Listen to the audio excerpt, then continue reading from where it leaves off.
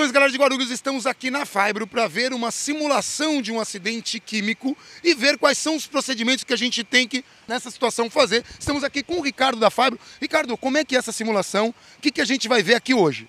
A gente vai ver uma simulação de vazamento de solvente num tanque de 40 metros cúbicos. Vai envolver o pessoal da Fibro, é, vamos ter vítimas também e órgão externo. Por exemplo, vai ter o pessoal do CIEG, bombeiro e o pessoal da Defesa Civil, que vai acompanhar a gente na, nessa ocorrência.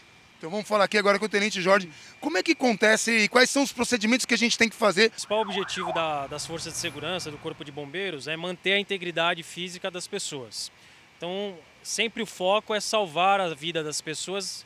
Com isso, a gente provoca a evacuação do prédio. Então, juntamente, integrado com a empresa, com os órgãos presentes, nós promovemos a evacuação do prédio e nos preocupamos com as vítimas.